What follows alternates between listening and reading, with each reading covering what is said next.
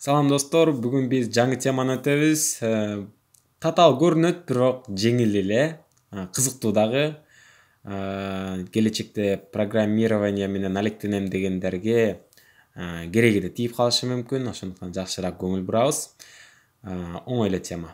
Көптүктөр деп аталат муну биз мурунку эң биринчи сабакта кичине кичине козгоп кеткенбиз ошол эле теманы тереңдеп изилдейбиз мисалы достор a degan köptüktün içinde a, minus 5 anan minus 3 anan minus 2 anan a, 1 2 4 5 8 көптүгүн эмне достор? Бир эле түшүнүктүн ичинде бир нече элементтин камтылышы. Мисалы үчүн а деген түшүнүккө а деген эле бир тамганын ичине биз деген мына ушунча санды киргизип койдук. Мына ошол көптүк деп аталат. Демек бул азыр бул көптүктүн аты а көптүгү деп аталат. Мен азыр дагы бир көптүк жазайын башкача жазайын азыр. Ал көптүктүн өзүн кайра стандарттуу көрүнүшкө алып келебиз. Мисалы x минус үч кичинекей x төрт x тиешелүү zке бул учурда достор математиканы ким жакшы жүрсө оңой эле түшүнүп кетет. X кайсыл сандар болушу мүмкүн? X кайсы сандар болушу мүмкүн? Мынакей бул белги айтып турат x бул учурда деген сөз да. Мынакей x бул учурда ушул барабарсыздыктын арасында орун алат жана x ушул сан болушу керек дейт да. Демек анда башкача айтканда деп дагы бир түрүн жазып алалы. X кайсы болушу мүмкүн экен? Минус үчтөн чоң болушу керек экен. Анда кайсы? Минус эки. Туурабы? Дагы кайсы? Минус бир. Дагы кайсы? Нөл. Анан бир эки. Анан үч төрт. Анан беш болобу? Беш болбойт. Себеби төрткө чейин эле x төрттөн кичине же төрткө барабар болушу керек дейт. Болду бүттү. Бүтүн санбы албетте бүтүн сан. Баардык шарттар аткарылды демек мынакей сары болгон көрүнүштү биз ушундай кылып жазып алсак болот экен. Азыр мен ушунун ордуна алып туруп жазып коеюн. Ой кечирим сурайм эмне болуп кетти? Так мындай кылып туруп жазып койсок эмне болуп атат? Өзүмдөн ката кетип калыптыр да анан башка компьютерди күнөөлөп атам так түшүнүктүү бул б көптүгү болду анан дагы бир көптүк жазайын. С көптүгү минус сегиз минус төрт нөл үч анан жети минус сегиз минус төрт нөл үч жети демек ушул көптүк а баса достор көптүктүн белгиси ушундай менен белгиленет муну баарыңар эле билсеңер керек. Фигуралык каша э. Түшүнүктүү болсо жакшы. Азыр ушул көптүктөр менен биз иш аракеттерди жүргүзөбүз. Мен кичирейтип коеюн кичине. Көрүнүп атса керек. Бизде жаңы түшүнүктөр пайда болот. Азыр мен бул жака тегерек бир эмелерди чийип көрөйүн. Мына бул а көптүгү болсун. Бул б көптүгү болсун б көптүгүн кандай өң менен белгилеп коелу мисалы үчүн көк менен белгилеп коелу так жазып коеюн үстүнө. А анан бул болсо б. Эми карайлычы достор. Азыр сны карабай тургула сны карабай тургула бир гана а менен бны карап тургула достор. Ада дагы бда дагы кайсыл сандар бар мисалы? Минус беш бул жакта минус беш бар минус жок минус беш жок. Минус үч минус үч дагы жок. Минус эки. Минус эки бар экен мына бул жакта дагы. Бул жакта дагы бар. Демек минус экини карасыңар достор. Ага дагы бга дагы тиешелүү кайсыл учур болуп атат? Так гана кесилиш э бул жака да болот бул жака да болот. Демек минус эки ага да кирип калат бга да кирип калат ортосун минус эки деп жазып койсок болот. Дагы кайсы бар экен? Бир. Биякта да бир бар экен. Макул бир деп жазалы. Анан эки эки бар экен көрдүңөрбү ага дагы бга дагы тиешелүү болуп атат. Төрт төрт бар экен. Төрт деп жазып коеюн. Беш жок бул жакта сегиз жок. Азыр сыны карабайсыңар достор сыга алаксыбай сыны мен башка жака коюп коеюн а? Бул жака коюп коеюн. Мен артыма бияка жашырып коеюн. Муну карабай тургула. Болду башка экөөнө тең тиешелүү сандар жок. Демек минус эки бир эки төрт. Ал эми ага анда жалгыз ага эле тиешелүү кайсы сандар экен? Жалгыз ага тиешелүү минус беш экен. Минус беш экен. Жалгыз ага тиешелүү минус үч экен. Жалгыз ага тиешелүү дагы беш анан сегиз. Ал эми бга тиешелүү минус эки. Жок минус эки экөөнө тең тиешелүү минус бир нөл анан үч. Мынакей достор. Жаздым эми карасак болот. Бул жакта мынакей анын ичинде баардыгы камтылган мен азыр кызыл менен белгилейм аны карасаңар толук. Минус беш беш минус эки бир эки төрт мынакей дал ушул сандардын баары жазылган. Эми бны карасак деле дал ушул сандардын баары жазылган. Анан ага дагы бга да тиешелүү сандар ушуга жазылды. Эми достор ортосундагы эки тарапка тең тиешелүүнү биз кесилиш деп атайбыз демек а менен б көптүгүндөгү кесилиш мына ушул сандар. Эми муну биз математиканын тилинде кантип жазабыз. А жана бнын кесилиши деген магнитти тескери каратып коебуз мына кесилиши бул кайсыл сандар болду? Албетте минус эки бир эки анан төрт бул эми а жана бнын кесилиши деген бир эле түшүнүккө ушунча сан кирип атпайбы? Демек бул эмне бул көптүк. Демек муну дагы биз фигуралык каша менен белгилеп коет экенбиз. Түшүнүктүүбү азыр мен жакшы кызыл менен белгилеп мынакей дал ушул жакты биз кесилиш деп атайбыз. Мынакей мына бул кесилиши эми бизде дагы мындай түшүнүк бар достор. А менен бнын биригиши биригүү деген мынакей ушундай жаттап кала достор. Биригүү деген бул магнит. Магнит эмне кылат? Бириктирет магниттин эмеси белгиси ушундай го. Демек бул биригүү деген эмне? А жана бдагы сандардын баары бириктирип э, санаганда канча болот деген эле сөз. Демек мына могул жактагы сандардын баарын тең жазып коебуз ушул жака. Бүттү эч кандай. Биякты карабайбыз достор. Могу диаграмманы карайбыз. Кайсы сандардан баштайлы? Албетте минус бештен баштайлы. Минус беш минус үч сегиз беш минус эки бир эки төрт минус бир нөл үч ушунун баары тең мынакей жаздым бул болсо биригиши болду түшүнүктүүбү баардыгы тең эми достор азыр так бул сны өчүрүп эле турат окшойм э а адан бны кемит деген түшүнүк бар да мына а минус б бул эмнени түшүндүрөт азыр карайбыз достор мынакей а деген турат бул жакта а деген тоголок турат ошондон бны кемит дейт демек эмне кылабыз бны полный өчүрүп салабыз мына могул жакта бны түшүнүктүүбү мына б тоголок полный өчтү эмне калды ичинде минус беш анан беш минус үч сегиз. Болду ушуларды эле жазып коебуз. Мынакей монун баары бны өчүрүп салабыз. Адан бны кемиттесе демек экинчисин полный өчүрүп салабыз. Мисалы бны өчүрүп салабыз. Так жазып коеюн. Минус беш минус үч сегиз беш. Ал эми тескерисинче тескерисинче. Тескерисинче.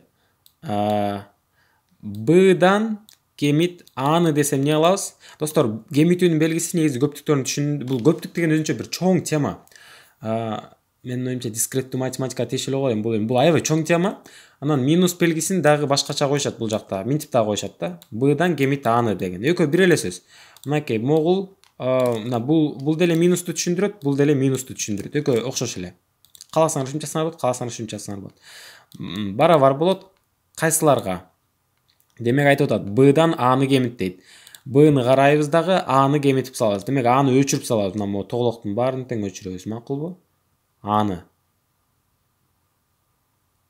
Демек бизде кайсылар калды? Минус бир нөл үч эле калды. Минус бир нөл үч. Мынакей болду бул болсо эмне деп аталды? Бул болсо кесилиш деп аталды бул болсо биригүү деп аталды бул болсо адан бны кемит же болбосо бдан аны кемит деген түшүнүк анан ар биринин белгисин көрүп алдык достор мына бул кесилиштики мындай болуп белгиленет биригүүнүкү мындай кемитүүнүкү айырмасы деп да аталат да ушундай болуп белгиленет анан дагы бир түшүнүк бар. Мисалы бул жака ушундай диаграмма сызайын анын ичинде дагы бирөө бар болсун дейли да. Мисалы биз математикадан эле мисалдарды алайын. Бул сырткы тоголок z көптүгү болсун z көптүгү. Ал эми ичиндегиси n көптүгү. Билесиңерби тең биринчи сабакта өтпөдүк белек. Булар бир анан эки анан төрт беш болуп кете берет да чексиз. Ал эми z деген кайсылар? Сыртына дагы минус беш минус үч нөл ушундай э демек башкача айтканда z камтыйт эмнени нди же болбосо мынтип формула түрүндө математика жазып койсок болот n камтылат зтин ичине n камтылат зтин ичинде деген түшүнүк мына могу камтылат деген сөз. N камтылат зтин ичине менин оюмча баардыгы эле түшүнүктүү болду окшойт. Азыр болсо силерге тапшырма берип көрөйүн. Анан дагы кичине бир айта турган нерселерди айтышым керек. Так бул учурда жанагы сыбыз бул жака келсин. Азыр достор бул жакта үч көптүк турат. Мен силерге тапшырма берем. Азыр пауза коюп туруп өзүңөр чыгарышыңар керек. Б менен б менен сынын кесилиши кандай? Б менен сынын кесилиши.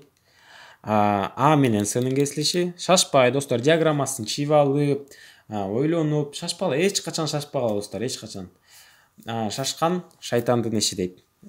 Бул мындай түз маанисинде алып карасак да эле болот. Чындыгында эми макул угана береличи математиканы үйрөнүп атпайбызбы философия эмес. Асы а менен снын кесилишин табышыңар керек. Анан а менен снын биригишин табышыңар керек анан б менен сынын айырмасын мынтип жазып коеюнчу түшүнө экенсиңер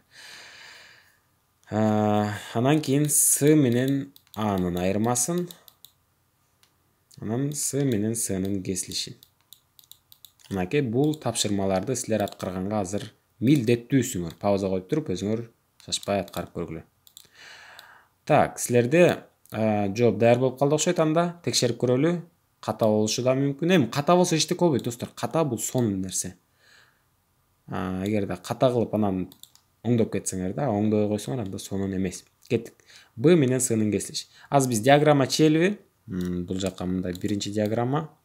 Анан бул жака дагы экинчи диаграмма. Эми диаграмма дейм да. Негизи бул диаграммалардын өзүнүн аты бар эйлер вендин диаграммасы деп аталат диаграммабы же бул жөн айланаларбы билбейм биздин максатыбыз азыр жөн эле көптүктөрдү түшүнүү да б менен снын кесилиши дейт экөөнүн кесилиши дегенде экөөндө тең бар санды издейбиз б менен сны карайлы азыр так минус эки барбы сда жок экен минус бирчи жок нөл мынакей бар бар демек ортосуна нөлдү жазабыз бир жок эки жок үч жок жок үч бар экен мынакей үч мынакей үч демек үчтү жазабыз төрт бул жакта жок демек б менен снын кесилиши эки тарапта тең бул жакты б кылып коеюн бул жакты с кылып коеюн бул болсо кайсы экен албетте нөл менен үч деген сандар экен эми а менен снын кесилиши дейт буну өчүрүп коеюн дагы кайра эле диаграммалардын аттарын алмаштырып коеюн э мындай кылып коеюн. Сны бул жака жылдырып туруп а деп бул жака жазып коеюн. А. Демек азыр а менен сны карайбыз достор мынакей. Муну карайбыз анан муну карайбыз. Так. Минус беш барбы бул жакта? Кесилиш. Кесилиш дегенде ортосун карайбыз э?